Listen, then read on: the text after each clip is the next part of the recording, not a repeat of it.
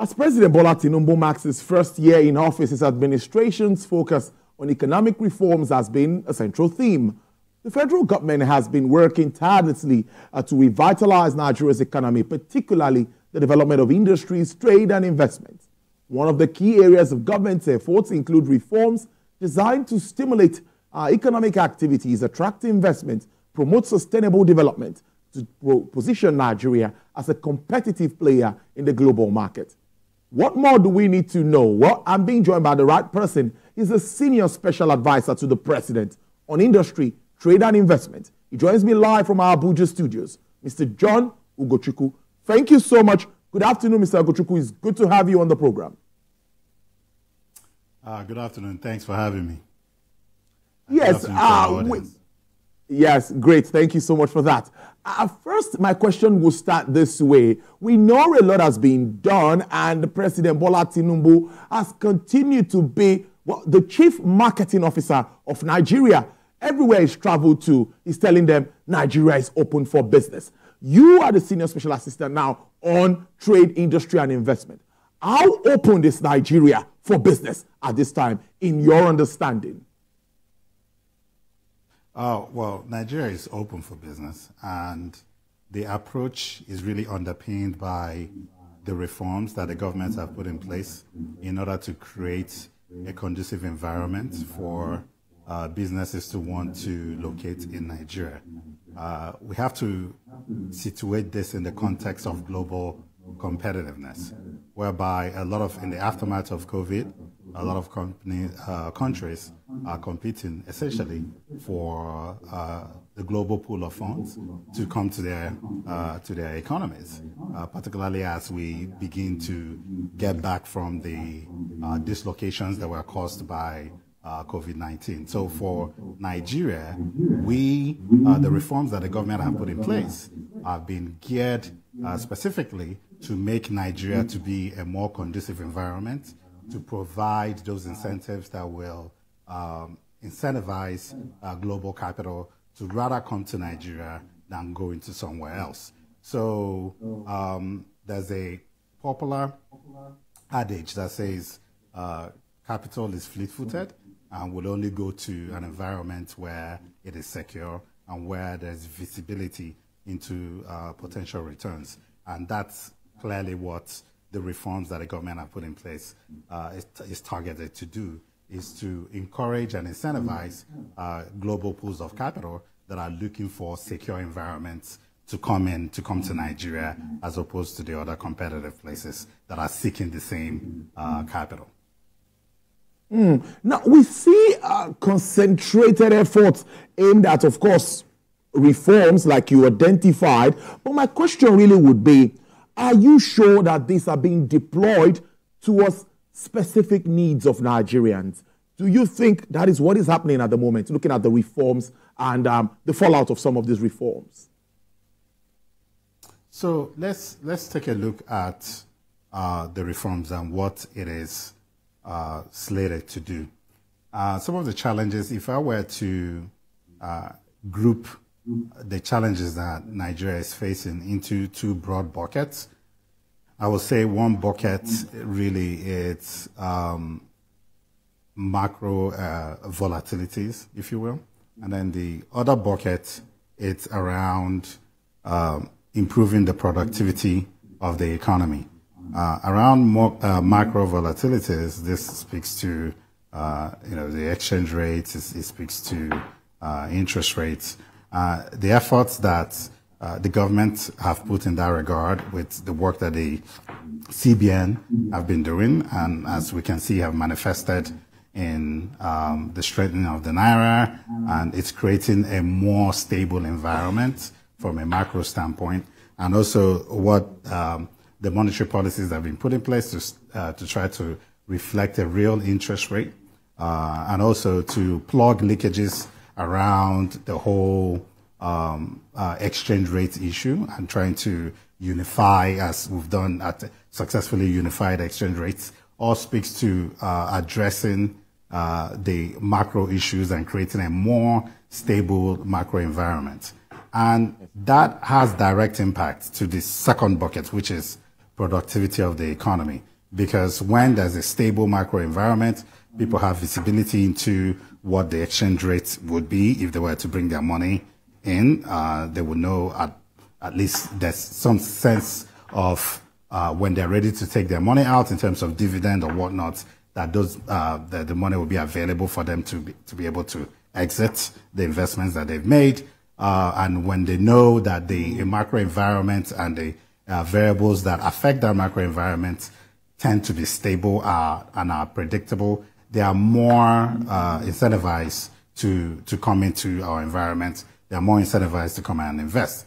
And on the producti- uh, productivity side, it, it really speaks to when that money now comes in after you've sta- uh, you stabilize the uh, microenvironment and the money has now come in, to what extent are you able to generate additional returns on, on that investment? Uh, are you able to generate two, three, four, five times? And your ability to generate exponential returns on every dollar or every naira of investment uh, it goes a long way in your ability to mobilize more capital and increase the productivity of your um, of your economy. And in order to do that, you have to uh, identify those aspects of your economy that have huge multiplier effects, that have the impact to transform, to be transformative. And uh, one of the key areas that often uh, that demonstrate such uh, potential often is in infrastructure. And by government focusing on infrastructure through the renewable, uh, through the Renewed Hope Infrastructure Fund, it is uh, attempted to address one of the biggest hurdles to productivity, which is uh, the enabling infrastructure for businesses to operate at a lower cost. Because if businesses operate at a higher cost, whether in terms of cost of transportation or cost of energy, those costs ultimately are passed on to the customers and it has an inflationary effect. By attempting to address the issues around uh, infrastructure through the Renewable uh, Renewed Hope Infrastructure mm-hmm. Fund, it, it's attacking one of the key uh, hurdles to our productivity, which is high transport costs and high energy costs. And with uh, success in that regard is going to manifest in higher productivity and is going to manifest in lower cost of uh, business and is going to manifest in higher returns for investors. So that's one aspect, one, what aspect of how this is going to impact ordinary Ni- Nigerians in, in being able to reduce the cost of goods, which then makes it more affordable for us to purchase uh, goods and services.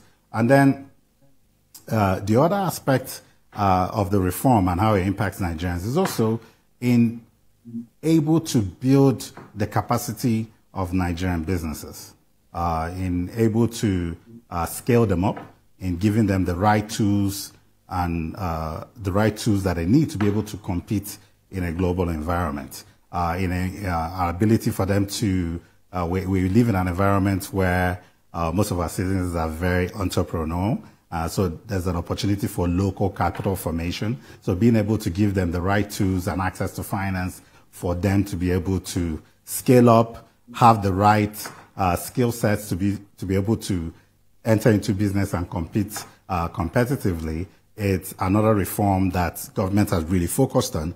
And the first action that the president really did in this regard was the palliatives. Over $200 billion, uh, 200 billion naira, uh, I beg your pardon, 200 billion naira that was earmarked as palliatives to be distributed to uh, nano businesses, uh, micro businesses, and low interest loans to medium and large manufacturers. And what this is supposed to do is act as a fiscal stimulus in providing access to finance that can allow them to uh, hire more expertise, allow them to invest in their businesses so that they can be more efficient and allows them to expand their businesses for the ones who are already operating. And for the ones looking to enter new markets and scale up, it allows them to do that as well by being able to provide cheap financing, which is often uh, the one of the biggest hurdles to businesses uh, being able to scale in Nigeria. And as businesses scale, then they are going to hire more people. We have lower unemployment, and uh, we have the per capita income of our citizens increase. So that's another reform that is targeted at um, being able to upscale the capacity of Nigerians, both businesses and uh, ordinary individuals.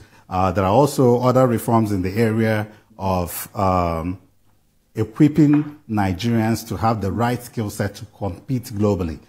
We live in an environment that is increasingly being dictated by the knowledge economy and the ability of our citizens to be able to participate in that digital and knowledge economy is really um, it's, it's, it's, an imperative. And in that regard, uh, uh, under the Ministry of Trade and Investment, uh, uh um, the Honorable Minister Doris Anite has launched the uh, what is called the SUPA, uh, the Skill Up Artisans, which it's um, which is designed to provide our artisans with critical skills to be able to um, have employable skills or even uh, develop their own businesses.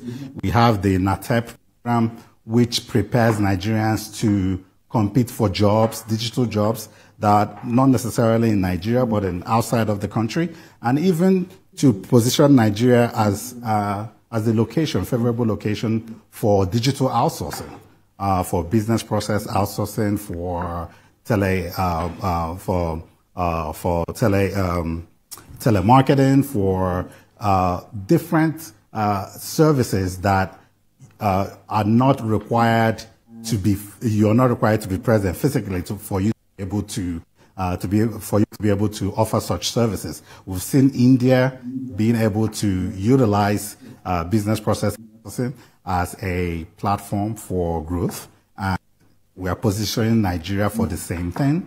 And uh, also, but to build that, you have to have adequate infrastructure. You have to have uh, uh, energy. You have to have uh, access to, to the internet. And in that regard, the uh, government, through the Ministry of Digital Communications, Innovation and Digital Economy, is laying 96,000 kilometers of fiber across the country, which will enhance and provide improved access for every Nigerian to be able to get on, on the internet.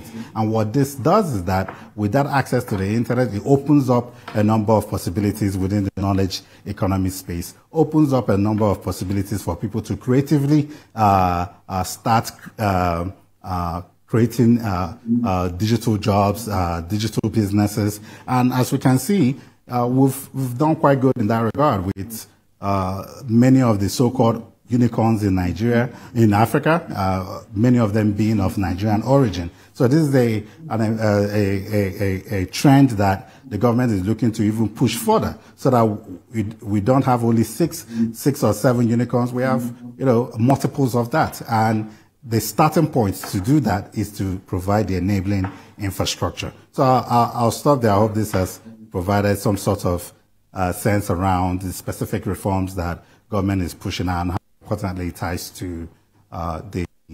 Uh, yes, the yes, you have indeed done that uh, brilliantly. I, I, must say. Finally, uh, wrapping up this conversation, trade facilitation remains key, and the flip flop around the FX, and of course, um, the rates for exchange and the customs is something that business people are talking about. Uh, yes, I know you can't control the rates of FX, but what more are we doing uh, around that part, at least to make it easier for people to bring in products and all of that. Then uh, it's a two in one question. When are we likely to get off this transition time? Many say we are seeing a time where we're moving to start seeing inclusive growth that's following these reforms. When do you think the positives will start to trickle in? Uh, it's everything I would say happens slowly and all at once. Uh, it's yeah. like an iceberg.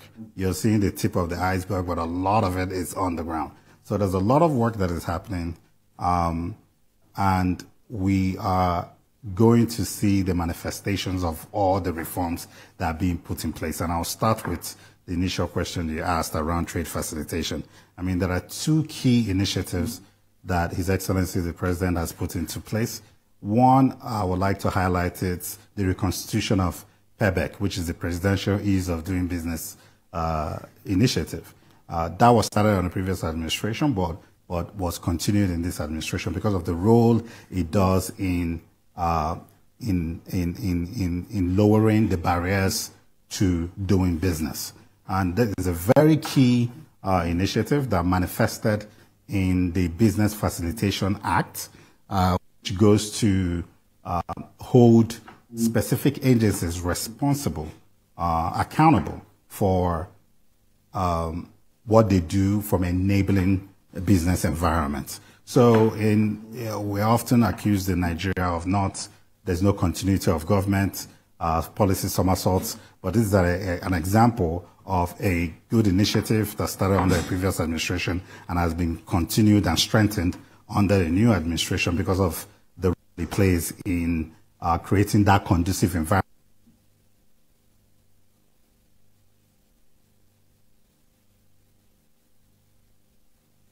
that we talk about and is the key incentive for driving businesses to locate in Nigeria. Then the other one, it's the single window uh, single